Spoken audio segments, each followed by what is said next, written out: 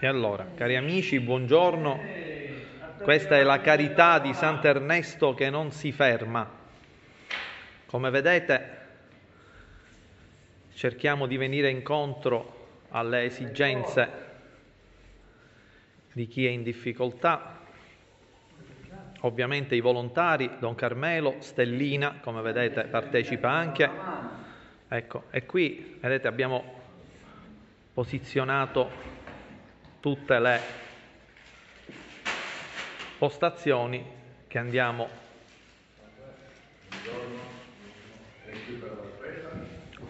No, per il comune.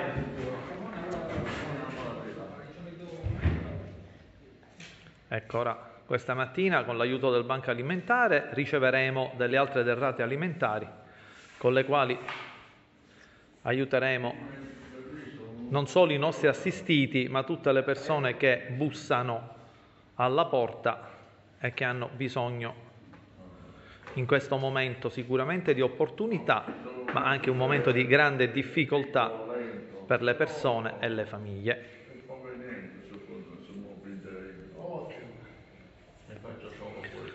Ecco, nel frattempo invece in segreteria, vi porto nei locali segreteria, dove attualmente stiamo facendo il servizio di identificazione delle 200 famiglie che il comune di Palermo ha a noi segnalato per poi la successiva distribuzione dei buoni spesa.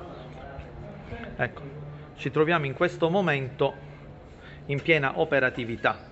Ecco, ecco, vengono i nostri volontari, nonché i nostri fratelli e amici, ci danno la possibilità di registrare le persone al computer che poi entro 72 ore al massimo riceveranno tramite mail o tramite cellulare il, i buoni spesa da poter utilizzare.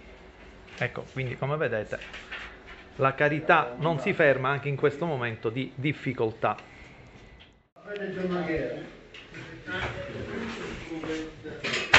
Daremo più valori per il futuro. Ecco, Don Privà, Sì, le- le frate- I fratelli e sorelle si debbono Don Privà, Oh. una testimonianza dell'importanza della carità in queste giornate di difficoltà, ma sicuramente di opportunità che il Signore ci sta offrendo. Mhm. L'importanza della carità in questi giorni. Eh, la carità in questi giorni, la carità è il nome di Dio, Dio è carità, e se Lui ci chiama a riscoprire la nostra vocazione in questi tempi di difficoltà, ci chiama a riscoprire ciò che siamo, noi siamo, siamo carità. Ecco, grazie. Quindi, ecco, vedete quello che ci diceva il nostro amico, no? E mi ricordi il suo nome? Massimo, ecco, quello che ci diceva Massimo. L'importanza del gesto della carità, ecco, con eh, l'accompagnamento del eh, senso e della parola di Dio, come ci testimoniava Don Privà. Facciamo per sorridere. No, Ah, sorridiamo, sorridiamo così. sorridiamo dietro le Ah, mascherine. levata la E allora è appena arrivato il, il mezzo del banco alimentare, come vedete, appunto, come dicevo prima, la carità non si ferma, qua i nostri amici continuano a scaricare e si continuano così ad aiutare le persone. Ecco, l'importanza della, della carità, ecco, vi ricordate quando facciamo la giornata del banco alimentare? Ecco, dico, questi sono i momenti in cui poi queste derrate alimentari, ma non solo queste, ovviamente, continuano a girare e continuano a... Eh, eh, partecipano. ecco. soprattutto di ogni sacchetto che si dà di alimenti, portiamo nelle famiglie pure un po' di speranza, Cristo stesso che è Ecco. carità e soprattutto una parola di conforto al momento giusto che le famiglie ne hanno di bisogno. Appunto, Lasciando fuori dalla porta il, corona- il coronavirus. assolutamente. Ecco, Grazie anche a lui che sembra quindi- attivo. che- Ecco. È il gesto che si è il fa, nostro punto di riferimento. il gesto che si fa è un gesto sicuramente di carità, ma che accompagna anche con la parola la speranza e la presenza di Dio. Vito non ce n'è più, no, altri due mi sembra. Oh, intanto comunque buona Pasqua per quanto è possibile, Sempre, va bene? sempre, sempre. Oh, E noi ora addirittura in mezzo abbiamo per ora 180 passi perché siamo solo noi con Norione e la Caritas Ecco, questi sono locali che in tanti non conoscono. Questi sono i locali che la parrocchia ha destinato per le derrate alimentari. Ecco, come vedete, in questo momento eravamo quasi alla fine delle nostre scorte ed ecco che il banco alimentare si è subito attivato e ci sta portando le nuove scorte. Come vedete abbiamo anche le zone con le celle frigorifere perché se dovessero arrivare dei prodotti ovviamente che hanno bisogno di essere conservati a temperature basse, noi abbiamo anche questa possibilità. Ecco, io personalmente mi auguro che questi piccoli filmati che stiamo facendo possano far venire la voglia a qualche nostro parrocchiano ecco, di mettersi in gioco, di materialmente venire a collaborare con la nostra Caritas parrocchiale, perché c'è bisogno di tutti, di tutti, specialmente di giovani, ecco, quindi sarebbe bello che fosse motivo di nuove adesioni. Mancano due di riso forse, può essere. Massimo, ah, eccolo, vabbè. Ok, così siamo a posto. Il riso che è a posto.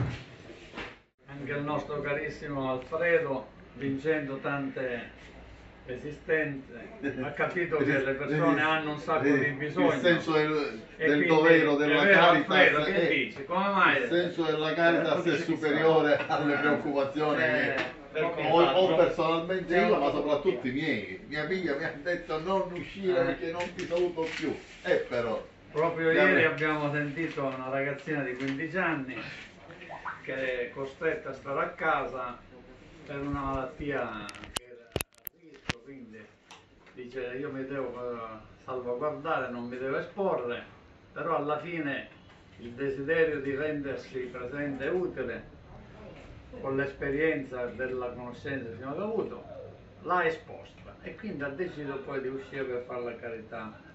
Quindi una quindicenne ci dà una speranza grande, ma anche la saggezza da grande a volte fa vincere quelle che sono le paure.